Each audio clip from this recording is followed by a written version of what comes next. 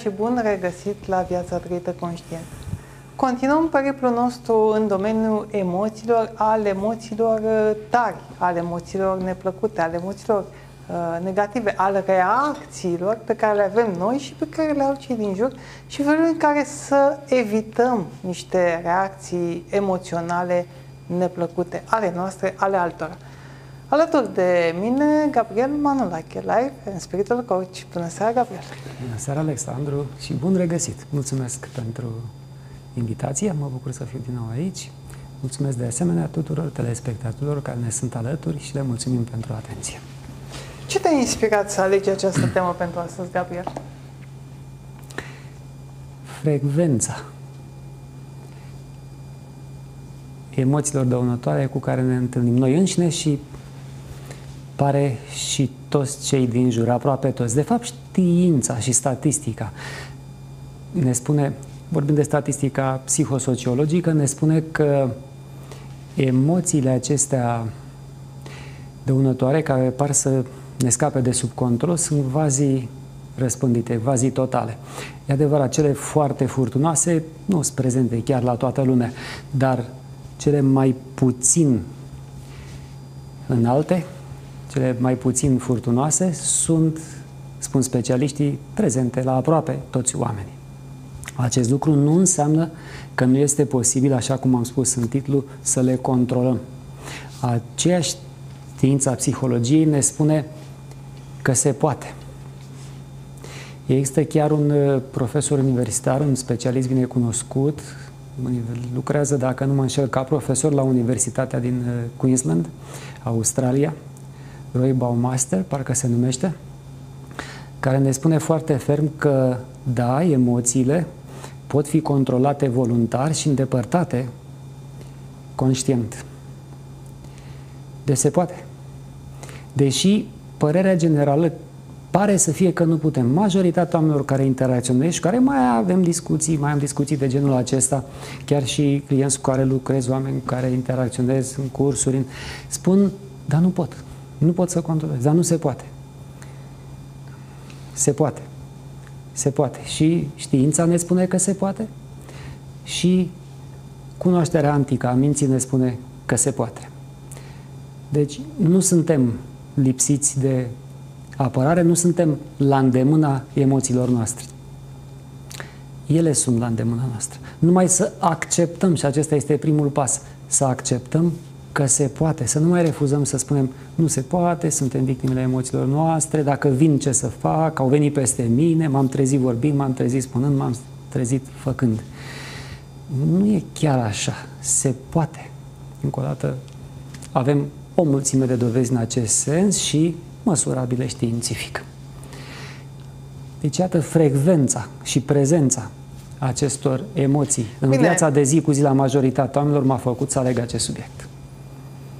Oamenii au o mare putere. Sigur. și puterea se cheamă alegere. Puterea Desigur. de a alege. Și eu, cu liberul meu arbitru, pot să aleg în viața mea nu știu, să spunem că o femeie alege în viața ei să stea cu un bărbat care consumă alcool în exces. E o alegere. Sigur. După care ăla vine în fiecare zi afumat și începe scandal. Și în fiecare zi are emoții negative. Sigur că poți să lucrezi cu cu această situație ca să încerci să gestionezi. Dar de multe ori Problema e la alegerea de rădăcină. Adică sunt niște alegeri fundamentale pe care le facem cu viața noastră, niște alegeri rădăcină, să le numesc așa, și din ele duc niște ramificații care unele dintre ele ne expun mult mai mult probleme. De exemplu, dacă eu aleg cu viața mea să fiu un om foarte prosper și fac cele necesare ca să ajung. Și în teorie, dacă am două mâini, două picioare, un nivel de inteligență mediu sau peste medie și fac eforturile necesare, whatever it takes, ajung să fiu un om prosper. Dacă ajung să fiu un om prosper, banii îmi rezolvă multe, nu toate, dar multe dintre emoțiile negative pe care le-aș avea când îmi vine o factură mai mare la gaze, când uh, n-am bani să plătesc uh, uh, rata, chiria. rata, chiria, o haină copilului și așa mai departe. Adică sunt la da. bază niște decizii cu viața noastră care ne pot pune niște umbrele. Altfel ne ducem în ploaie. S-ar putea să învățăm să mai fentăm niște picături, dar tot ploați o să ieșim. Așa este. Avem această putere. Este tot timpul la noi. Nu trebuie decât să o folosim. Și aici, de fapt, apare dificultatea. Noi avem nevoie de niște abilități pe care să le manifestăm pentru a putea evita, pentru a putea scăpa de aceste emoții negative, aceste emoții dăunătoare.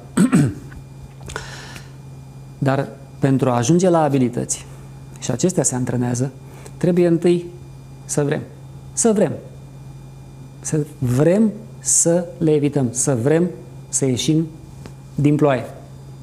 Altfel, nu ne poate urni nimeni de acolo. Chiar dacă nu ne place.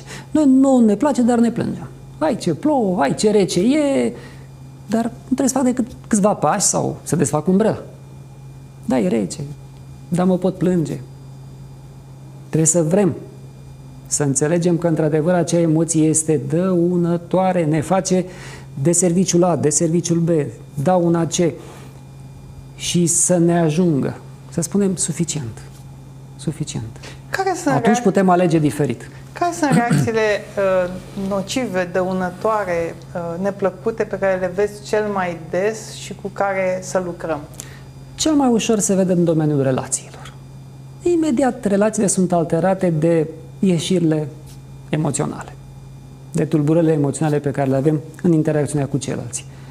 E incredibil de ușor de observat cum relațiile sunt afectate de ieșirile emoționale pe care le avem. Nu avem cum să nu credem că ne afectează. Ne afectează. Am avut parte de certuri, am avut parte de conflicte, am avut parte de despărțiri datorită emoțiilor din această categorie. Și atunci, dacă nu ne place suficient această situație, putem ieși din ea, alegând să ieșim din ea. Avem oricând această putere de a alege. Conștient. Că nu suntem bine unde suntem. Și aici sunt două situații. Mi se adresează întrebări în ultima vreme foarte multe din această categorie, dar totuși sunt într-un job atât de... și urmează niște adjective acolo. Încât chiar mă tulbură, mă răscolește, îmi provoacă ieșiri emoționale. Ce să fac? Avem aici două situații. Noi suntem subiectivi. Suntem totuși subiectivi în interpretarea noastră, interpretarea noastră, perspectiva noastră, percepția noastră despre orice, inclusiv despre job. Nu este una perfect obiectivă. Pentru că sunt poate colegi de-ai noștri în același job care nu spun e un job insuportabil, ci spun e chiar suportabil, e chiar plăcut, ar spune alții. Deci în același job sunt perspective diferite. Este clar că nu jobul este neplăcut. Pentru că, iată, poate fi plăcut, suportabil, insuportabil pentru diferiți oameni. Și atunci ceea ce face diferența este interiorul acelor oameni. Trebuie să avem grijă la acest aspect. Să nu avem încredere, scuze, totală, absolută în percepția noastră. Pentru că percepția noastră este una foarte, foarte subiectivă și dependentă de extraordinar de mulți factori. Subiectiv și ei. Aici ar trebui umblat în primul rând. Să vedem cât de apropiată de realitate este perspectiva noastră. Pentru că adesea nu este una apropiată de realitate și doar schimbând perspectiva noastră nu e nevoie să schimbăm jobul. Chiar multe situații de genul acesta am întâlnit în experiența și practica mea de până acum. Câteodată sunt... nu e nevoie să schimbăm nici măcar femeia sau bărbatul. Nu, nu e nevoie. Nu câteodată, de cele mai multe ori. De cele mai multe ori nu e nevoie să schimbăm exteriorul, e nevoie să schimbăm interiorul. E, aici e mai dificil un pic. Pare mai ușor să schimbăm exteriorul, să schimbăm amenajarea casei, să schimbăm partenerul, să schimbăm jobul, să schimbăm chiar casa, chiar țara în care locuim. Dar nu e suficient. Dacă n-am schimbat interiorul, este foarte posibil să ne întâlnim în altă țară, la alt job, cu un alt partener, cu aceleași situații emoționale neplăcute. E foarte posibil, pentru că n-am rezolvat interiorul. Și atunci abordarea noastră interioară față de exterior este aceeași. Sunt, sunt și situații din categoria B, când exteriorul este într-adevăr unul, să spunem, neadecvat vieții. E chiar neamiabil. Chiar produce realmente suferință.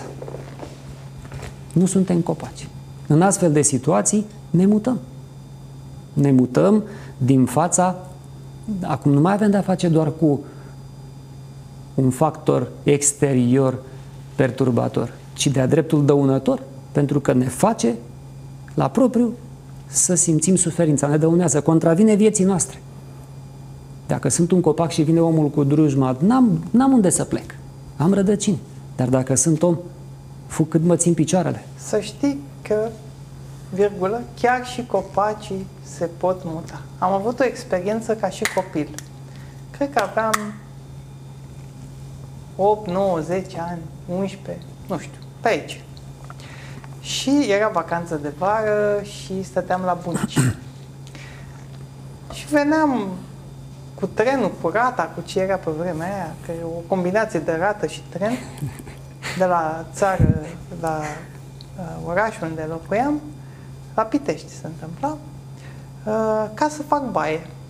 Era apă caldă sâmbătă sau duminică, nu știu, era oricum curație pentru cei care n-au trăit în comunism, nu, care sunt mai tineri decât noi. Și la un moment dat, venind cu trenul, am avut un șoc. Pentru că în fața gării era un fel de piațetă cu multe clădiri așezate așa într-un pătrat, clădiri din astea vechi, de epocă, dar mari, uh, și în care se vindeau magazine, se vindeau diverse chestii. Și am plecat săptămâna asta, luni, marți, miercuri, joi, vineri, am trecut prin chestia aia, dar mare, deci o chestie pe niște sute de metri pătrați. Și când m-am întors, am făcut Era gazon și pe gazon niște copaci foarte mari, falnici, plantați. Am crezut că sunt într-un film suprarealist. Deci, niște copaci s-au mutat acolo. Ce se întâmpla? Urma să vină tovarășul într-o vizită de stat pe autostradă și trecea exact pe acolo. Și li s-a părut că nu e frumos ce o să vadă tovarășul în zona aia. Și au ras tot, au pus gazon și copaci mari. Deci nu legau doar știuleții de, de, de porumb. Au putut să mute. Deci chiar și copacii se pot muta, dar rămite noi, oamenii. Da, e chiar real, dincolo de această poveste, că și ea e reală. Am prins vremurile când se mutau copacii pe unde treceau, pe unde treceau coloanele oficiale.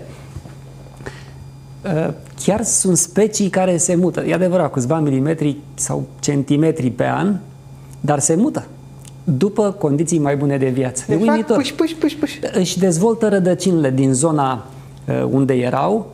Dacă au umiditate, să zicem, către sud sau către nord, de obicei către nord de umiditatea, rădăcinile se dezvoltă mai mult către nord, iar rădăcinile dinspre sud tind să se usuce. Și ușor, ușor, practic, copacul se mută un pic. E vorba de ani de zile, dar prin dezvoltarea rădăcinilor către nord și uscarea rădăcinilor dinspre sud, el, el practic ușor se mută. Deci e cumva real, nu dincolo de gluma cu mutatul de către oameni al copacilor. Se pare că sunt și specii de ciuperci care se mută câțiva milimetri. Că nu mă înșel pe zi, nu vreau să specialiștii în domeniu pot uh, confirma dacă așa este. Am prins aceste informații la un moment dat, am o prietenă care e în domeniu și da, se mută. E observabil la salcie. Salcia e o iubitoare de umiditate și ea se mută, își mută repede rădăcinile unde simte umiditate. Se duce în direcția aceea nu poate fugi de o drujbă. Dar un pic se mută spre condiții mai bune de viață, deci este vizibil cum chiar și în lumea vegetală reprezentanții tuturor speciilor se mută spre condiții mai bune de viață și de acest, despre acest lucru este vorba. Dacă într-adevăr condițiile exterioare sunt nefavorabile vieții, ne putem muta ne putem muta.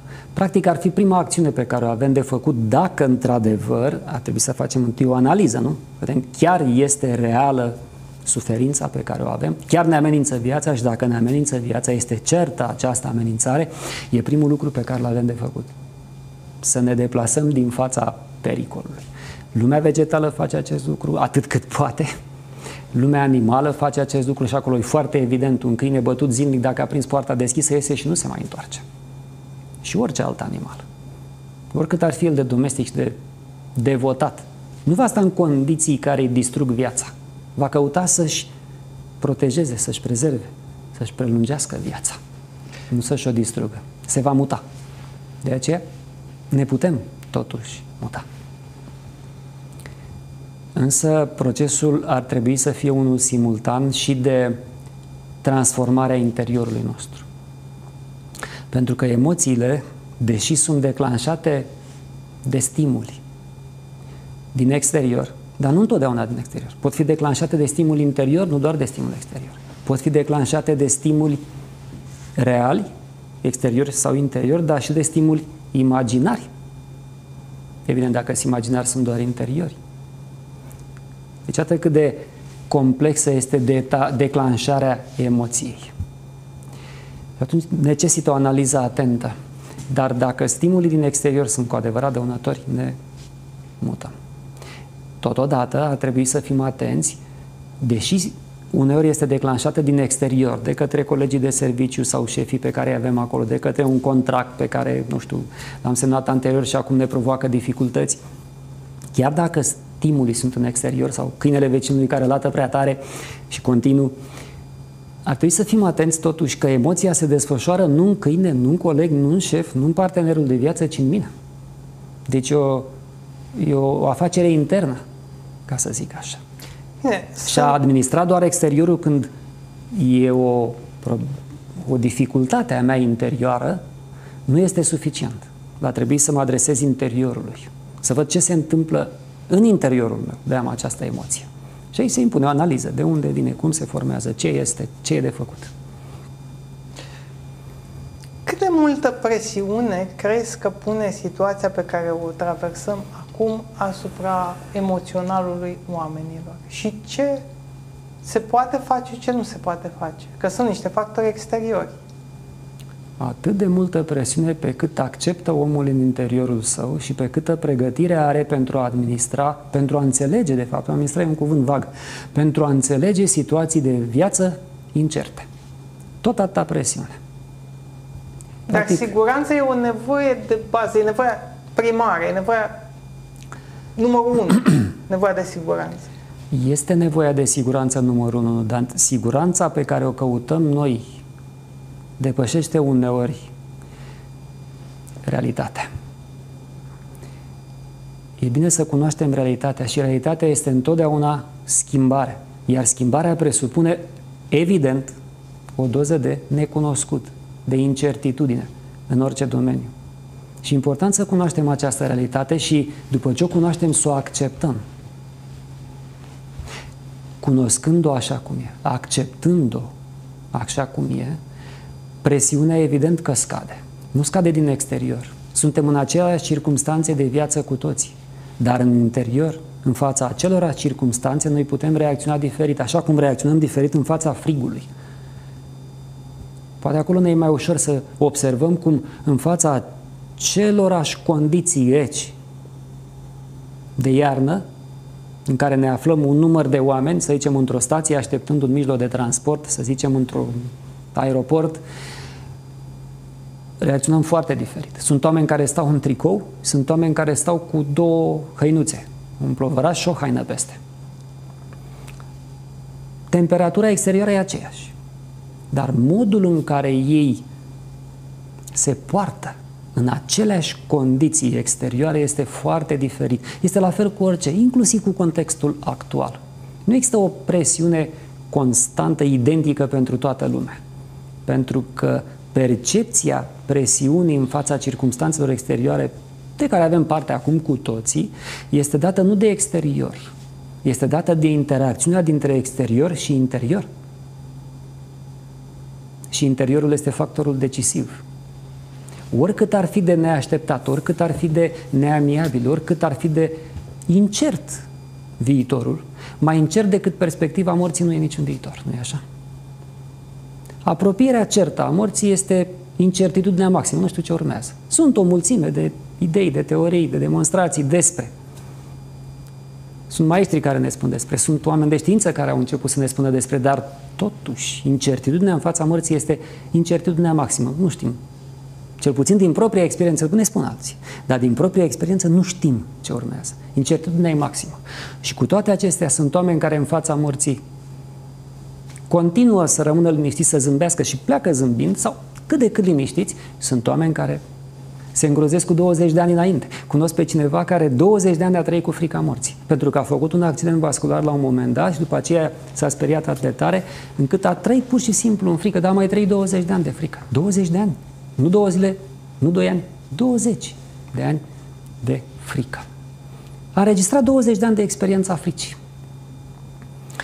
i spun, chiar și în fața incertitudinii supreme pentru viața aceasta, necunoscutul de la terminarea vieții, oamenii reacționează foarte, sau acționează, că aici o discuție, foarte diferit. Cei care reacționează, lasă emoțiile să-i tulbure. Asta înseamnă lipsa de control a emoției. Reacție, reacționez. Spontan, necontrolat. Da, dacă Cei reacționez, care... măcar scot din mine și mă liniștesc. E o discuție lungă aceasta cu emoțiile, cu scoase, cu scosul din noi. Dacă sunt oală care fierbe și scot stropi care împroașcă pe cei din jur și îi opăresc, pentru că semăn cu așa ceva când sunt mânios, poate n-ar fi chiar recomandabil să scot. Pentru că provoc cu adevărat suferințe, îi opăresc pe cei din jur. Nu-i doar un limbaj figurat. Știm cu toții efectele mâniei asupra celor din jur. Și una dintre emoțiile de bază, distrugătoare de altfel, și în exterior și în interior. Deci e o discuție poate într-un alt context, într-o emisiune întreagă aceasta, dacă emoțiile trebuie lăsate sau nu să se manifeste. Interesant este că tot ceea ce se manifestă formează un drum, un tipar. Nu pot să trec pe o arătură fără să las urme. Chiar dacă am arat proaspăt. Dacă eu trec pe acolo, am lăsat urme. Dacă am lăsat urme, cuiva care le-a văzut, chiar și mie, când vin a doua oară, mi-e mai ușor să merg pe același drum. Mi-e mult mai ușor decât prima dată. Poate prima dată am ezitat, așa, nu știu încotro să iau, nu știu azimutul, poate m-am uitat pe telefon să văd unde e nordul și am luat-o încolo. Dar am lăsat urme. Dacă vin și a doua zi, văd urmele. Nu mai am ezitări, voi merge mai ușor, a treia zi și mai ușor, a patra zi și mai ușor. ușor. Ce vreau să spun este că cu cât dau drumul, deschid un drum, dau drumul emoțiilor de mânie, a doua oră să fie mai ușor, a treia oră și mai ușor. Se formează acolo un tipar. Ai, pe înțelesul nostru, se formează un obicei. Se formează un obicei. Și știm cu toții, un obicei este foarte greu de șters după aceea. Dacă trec destul de des pe cărarea pe care am făcut-o, că se va face o cărare, dacă trec suficient de des pe, pe acolo, voi face o cărare. O cărare e mai greu de șters decât un rând de urme. O întrebare, Gabriel, care mi-a fost uh, pusă Sigur. recent cum faci să scapi de bagajul emoțional acumulat? Deci, au fost, uh, sunt într-un cuplu, dar suntem împreună de 5 ani, de 10 ani, de 20 de ani. S-au întâmplat diverse. Fiecare a acumulat un bagaj de emoții negative, de reacții. De... Se poate vărsa cumva paharul ăsta? Da, e o întrebare foarte bună, se poate. Se poate și o idee foarte bună să facem acest lucru decât să-l manifestăm, pentru că încă o dată manifestându-l nu învățăm să-l oprim. Învățăm să-l manifestăm, susținem manifestarea. Ceea ce facem susține să repetăm ceea ce am făcut. Așa ne obișnim cu toate lucrurile din viața noastră. Și atunci cu controlul emoțional există două variante de abordări, să spunem. Există abordarea dintre manifestările emoționale când nu avem de-a face cu ele, suntem liniștiți și atunci ne putem pregăti, așa cum ne pregătim, să zicem, pentru prevenirea incendiilor. Ne putem pregăti pentru prevenirea incendiilor înainte de incendiu. Dacă când s-a declanșat incendiu, ce facem? Ne apucăm să desenăm uh, planuri, să facem schițe, să cumpărăm instinctoare? Nu, nu, nu, trebuie să stingem foc. Deci o altă metodă acolo. Și emoțiile, mai ales mânia, chiar seamănă cu acest incendiu devastator.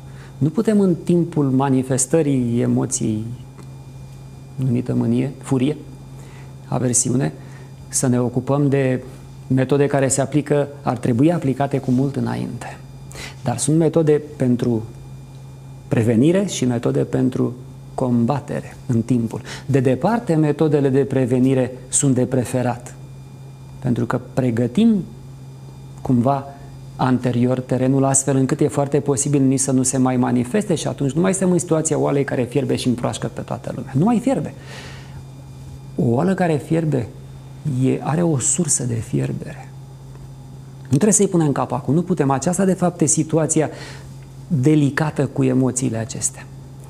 Nu putem nici să o ignorăm, să-i punem capacul. Va acumula presiune. Nu putem nici să o manifestăm, pentru că îi împroșcăm pe ceilalți. De aceea ar trebui să punem accentul pe metodele de prevenire, situațiile de dinainte să ne pregătim. Și o putem face, pentru că o ală fierbe nu întâmplător. Nu începe fier să fiarbă în timp ce este în frigider, nu începe să fiarbă în timp ce e dulap, în dulap, chiar dacă are apă în ea. Trebuie să aibă o sursă. Și dacă identificăm sursa care o face să fiarbă, este o sursă care face să fiarbă emoțiile noastre. O sursă, surse diferite, depinde de fiecare.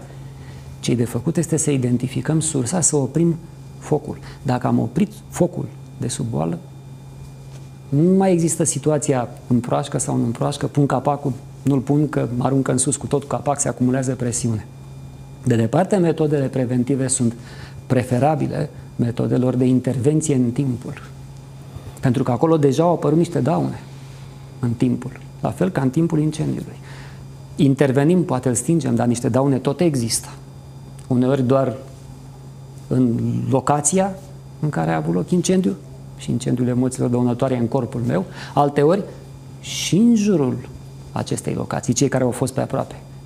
Uneori și în cei care intervin, că sunt oameni care vor să intervină, să ne țină când suntem unioși și mai primești și ei așa câte o zmucitură. Dar dacă ai acumulat aceste emoții, Gabriel, revin la întrebare, 5 ani, 10 ani, 20 de ani, pot face cumva să vărs acel pahar și să iau relația cu omul ăla ca și cum nu s-ar fi întâmplat nimic? E, o, e un film, se cheamă Collateral Beauty, uh, care are un fel de mm, mot așa, If only we're strangers again. Am înțeles. Și? Ideea era că erau foarte multe lucruri dureroase între doi oameni care se iubeau. Și își doreau dacă s-ar putut să fie străin din nou să ia de la cap fără acel istoric personal, mm-hmm. poți să deșerți undeva bagajul ăla emoțional?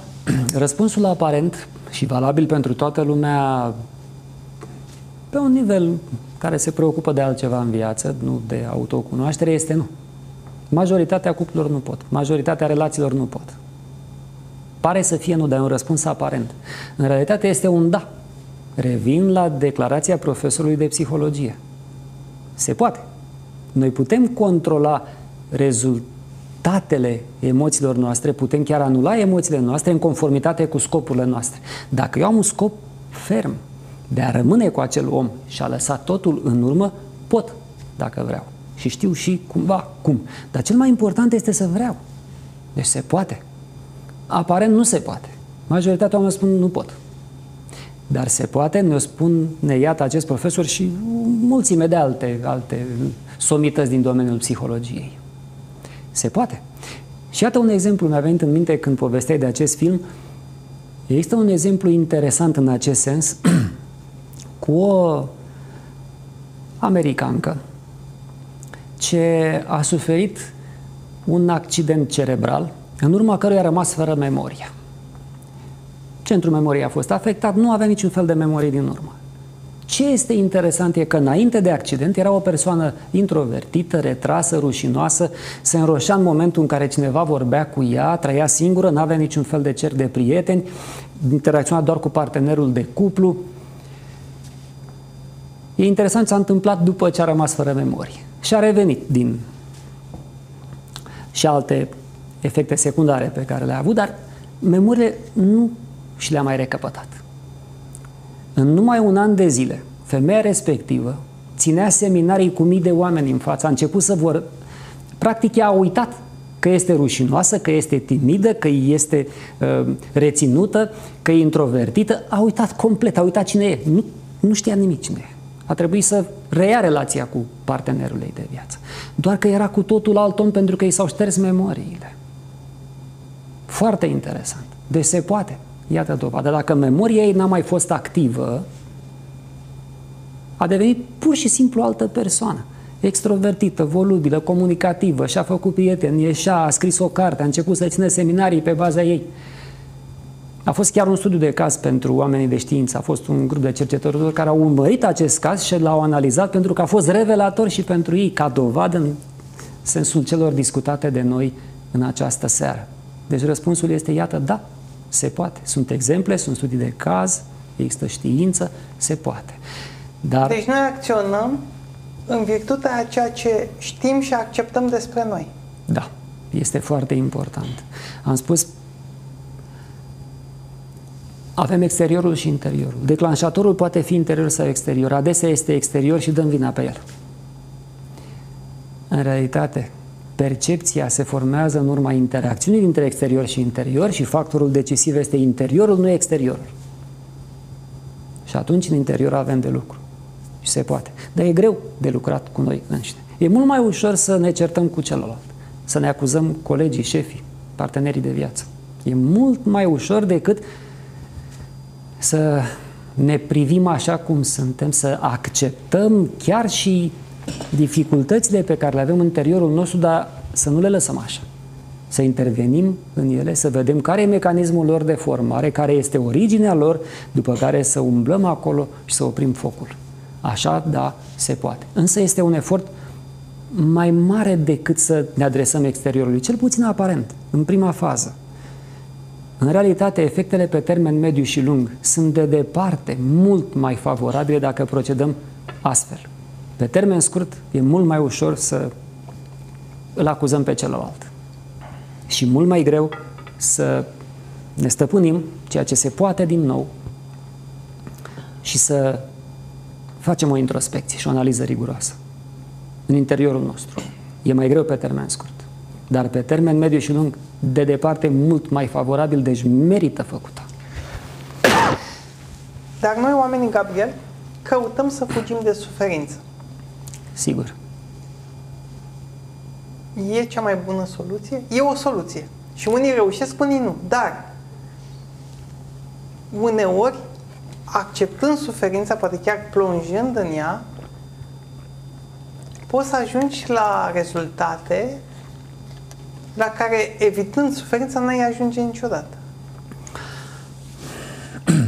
Iarăși depinde de percepția interioară, depinde de situația în care noi ne aflăm, de contextul nostru de viață, de cunoașterea noastră în ultima instanță. Pentru că eu dau adesea exemplul următor. Să zicem că mergem cu toți în șir indian, câțiva oameni, nu știu, un număr de oameni, 10 oameni, 20 de oameni, în șir indian cumva printr-o junglă necunoscută. Și cel din fața mea cade într-o groapă. Da, suferă. A căzut într-o groapă de trebuie, s-a zgâriat, s-a julit, se chinuie să iasă, noi ne învârtim pe lângă el acumulează experiențe din căzătură, învață, învață să meargă mai atent, învață, învață să fie mai conștient pe unde se deplasează. A luat un pic mai la dreapta, cel din față, el a căzut. Dar eu din spatele lui, e nevoie să cad și eu în groapă ca să învăț? Se pune întrebare. Deci el clar a învățat din căzătură. Când va ieși de acolo, nu-i vătămat grav, reușim cumva să-i întindem frânghii, liană, îl scoatem. E puțin julit, e, îl cam doare, are niște contuzii, va putea să meargă în continuare, dar a învățat a învățat să calce exact pe pașii celui din față, să fie foarte atent pe unde calcă. Ok, eu care am fost în spatele lui, n-am avut parte de această experiență, de suferința lui. Îl doare, poate șchioapătă, nu i-a plăcut senzația, cum să-ți placă, lipsa de control când aluneci într-un necunoscut. Dar eu în spatele lui, e nevoie să... A trecut el, l-am scos. Ce fac, mă arunc și eu în groapă ca să învăț ce a învățat el? Nu e nevoie. Nu e nevoie. Noi putem învăța trecând pe lângă groapă, observând groapa în care a căzut altcineva. E suficient. Dacă suntem conștienți. Dar putem învăța practic din suferința celor din jur. Doar observând suferința altora noi putem învăța fără să trecem noi prin ea. E posibil.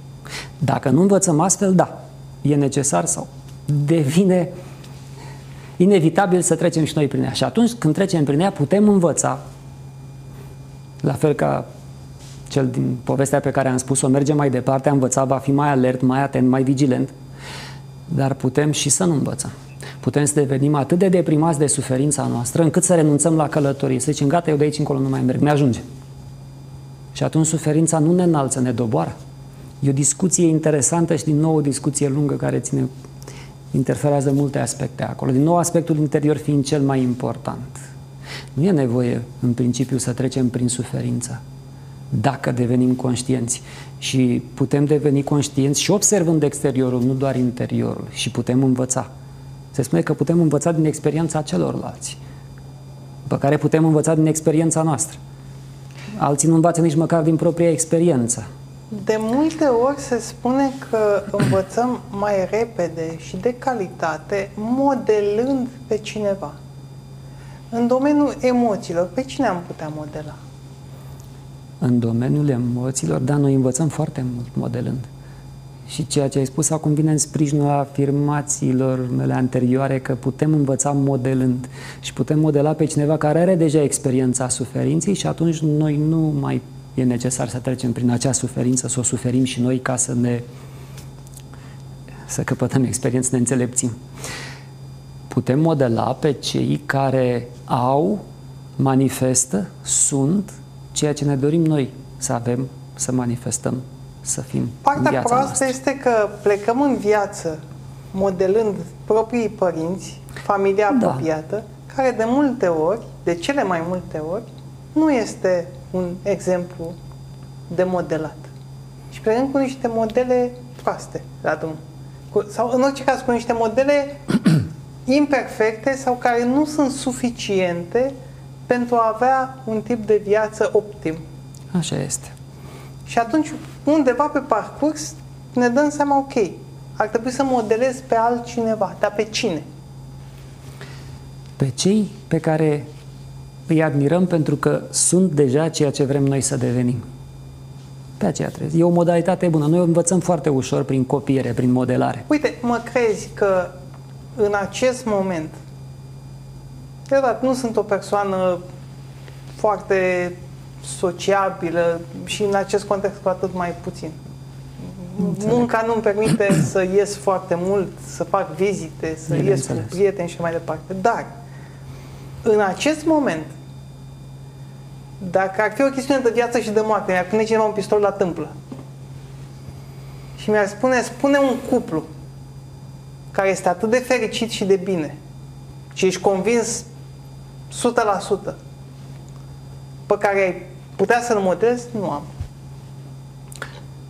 Din nou, nu faci decât să-mi confirm faptul mie și psihologilor și statisticienilor faptul că e quasi prezentă eliberarea emoțiilor, că e quasi prezentă manifestarea emoțiilor, că noi nu știm să le depășim, să le controlăm noi pe ele, nu să ne lăsăm controlați de ele.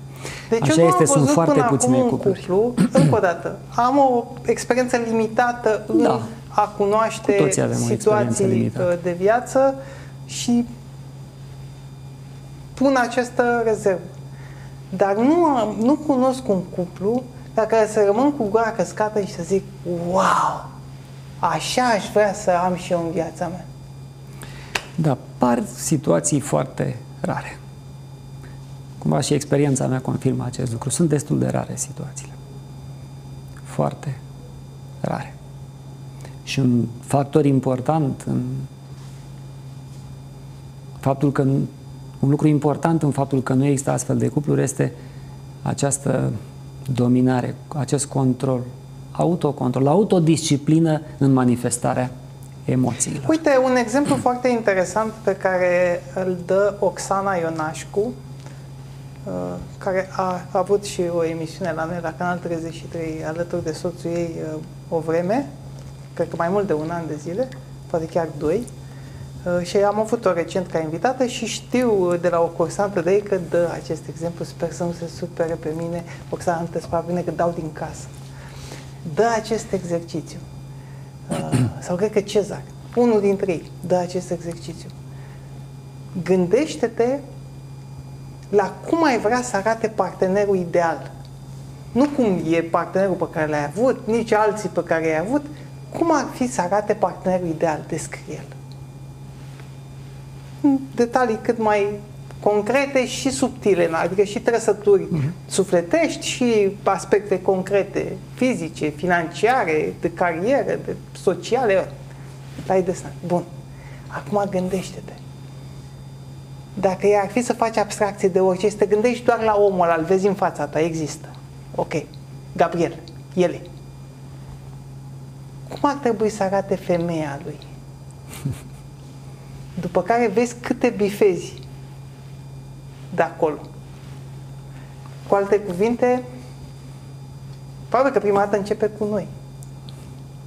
Ca să ai o relație wow, trebuie să fii întâi tu de toate un partener wow. Ce ne lipsește? Începe cu noi prima dată și a doua oară continuă cu noi și a treia oră continuă cu noi, se termină cu noi. Pot confirma din propria experiență că n-am avut parte de o relație reușită până când n-am început cu mine prima dată și a doua oră și a treia oară și n-am rămas la mine în final. Adică până ne ocupăm de noi, până nu devenim noi ceea ce ne dorim de la ceilalți. Nu avem cum să-i obținem pe ceilalți în conformitate cu standardele noastre, cu dorințele noastre, cu cererile noastre. Nu avem cum. Trebuie să devenim noi. Cel puțin aceasta este experiența mea. Din nou, poate fi o experiență limitată. Dar începe cu noi, se termină cu noi, pot confirma din propria experiență. Gabriel, suntem în ultimele două, trei minute din emisiune. Trei minute. Dacă da. vrei să încerci să tragi o concluzie pe tema de astăzi, să-ți faci un mic rezumat, cum consideri să folosești timpul? O să fac o mică poveste. Există o poveste, poveștile zen sunt scurte. O poveste zen foarte scurtă. Cinci călugări, unul mai experimentat, cu patru mai noi, care, care i-au fost dați în grijă, au hotărât să intre într-o meditație mai prelungită, să facă ei o zi și o noapte de meditație de retreat, să zicem, de o zi și noapte de meditație. Și au zis, ca simbol al angajamentului lor de a medita o 24 de ore, hai să aprindem o lumânare și să o punem aici între noi și ea să ne ghideze nouă meditație. Era seara. S-a lăsat seara, i-au închis ochii acolo, au intrat în meditație, s-a stins lumânarea. Unul dintre călugării tineri, oh, s-a stins lumânarea. Făcuseră legământul tăcerii, vreau, vreau să mediteze. N-aveau voie să vorbească. Al doilea, tânăr, îl aude. Parcă trebuia să taci. Al treilea, voi doi, de ce faceți gălăgie? Al patrulea, fericit, eu sunt singurul care n-a vorbit până acum. Al cincilea, cărugălul experimentat, nicio mișcare. Care e diferența între ei, între cei patru și călugărul mai experimentat? Controlul mai bun asupra reacției mentale și afective spontane în fața stimulilor exteriori. Pentru că ei sunt acolo, o cameră întunecată, când lumânarea s-a stins, au sesizat fiind cu ochii închiși că e întuneric. Și au reacționat, fiecare în felul lui. Primul s-a supărat, furie, s-a stins lumânarea. Al doilea, îngrijorat. Al treilea, bucuros. Eu sunt al patrulea, eu sunt singur care a rămas până acum să nu vorbească. Ultimul, n-a reacționat în niciun fel. Asta nu înseamnă că n-a constatat că s-a stins lumânarea, că primul a vorbit, că al doilea a vorbit, că toți au vorbit, dar a avut acea alegere de care ai vorbit ceva mai devreme, alegerea conștientă ce să facă în fața acelui stimul. Și a rămas conștient, a observat stimulul, dar a avut capacitatea să rămână conștient de obiectivul pe care îl avea. Eu meditez aici, nu plec după stimuli exteriori. Am spus această poveste în încheiere pentru că, de fapt, aceasta e cheia întregii puteri pe care noi totuși o avem asupra stopării emoțiilor dăunătoare pe care le avem. Să fim conștienți continuu de obiectivele pe care le avem și să alegem voluntar și conștient în fiecare clipă ce să manifestăm. Și dacă ceea ce manifestăm este în acord cu obiectivele noastre, manifestăm. Dacă nu este în acord, nu manifestăm, ne putem opri. Mulțumesc foarte mult, Gabriel. Să mulțumesc și, și eu pentru invitație. pentru că ai ajuns la final. Ne revedem săptămâna viitoare. Sigur. Mulțumesc. Vă mulțumim și dumneavoastră, stimați telespectatori, pentru că ne-ați urmărit. Revenim după o scurtă pauză publicitară.